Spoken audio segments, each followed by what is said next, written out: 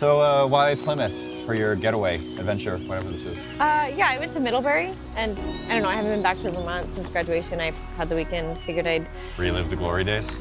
explore some places I might have missed.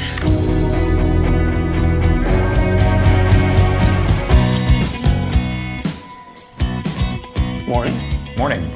Hi. Who is this? Uh, James's family owns the place. It made more sense for him to take the downstairs bedroom than like blow money on a hotel. Look, it's just kind of weird. I didn't even know that you were coming. You sure the whole scheduling mishap wasn't just a fun way to say hi? See you and Blake. Uh, sorry if I'm getting in the way of the weekend or whatever this is supposed to be. I'm not Oh. trying to be there. He seems to enjoy the company. It's hard when it feels like my only options are frivolous or forever, you know? Okay, so what are you looking for? Something in between?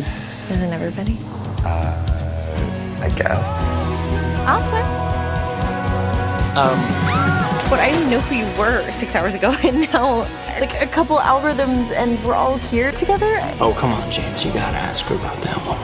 I just think like, it's wild something so big can happen somewhere so small.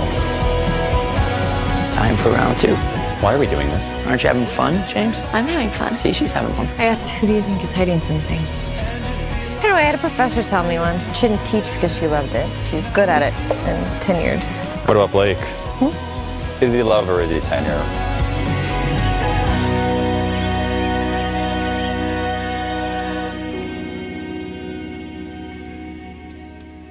I don't get crushes on people anymore.